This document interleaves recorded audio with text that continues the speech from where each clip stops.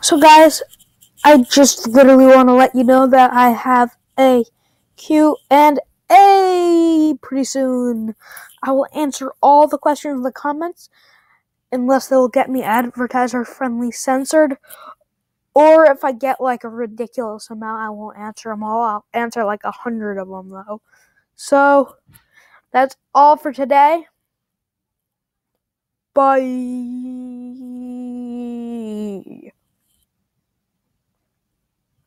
Nope, not bye.